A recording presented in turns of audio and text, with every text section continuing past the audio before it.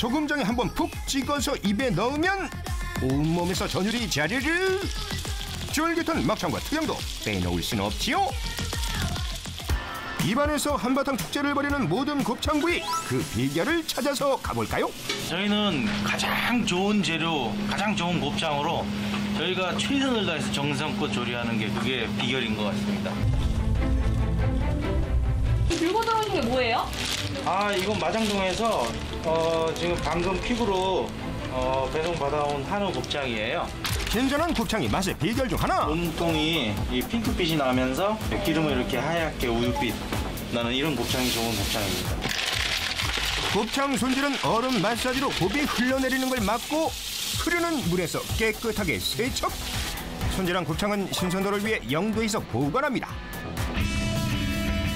신선한 곱창이 준비됐다면 두 번째 맛의 비결 소스를 준비 총 12가지 재료가 어우러져 곱창구이의 감칠맛을 업업 시켜준다고 하는데요 이 재료 중 가장 신경 쓰는 것이 있습니다 여기 들어가는 게 비법으로 조선 간장이 있는데 저희 할머니 댁에서 만든 거거든요.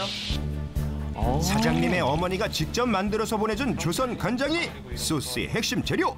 아니 재료를 알아도 못 따라하겠네. 팔 끓여주면 곱창구이 소스 완성입니다.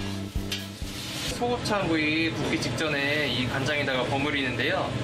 그래야 소곱창에 간이 잘 배고 맛있어져요. 모든 곱창구이 재료에 소스를 붓고 간이 골고루 배도록 주물주물 주물러 준 뒤 뜨끈하게 달궈진 돌판에 익는데 시간이 오래 걸리는 곱창과 대창, 막창과 양순으로 올려줍니다. 모든 곱창구이에도 굽는데 순서가 있다는 사실. 어, 순서가 있네요.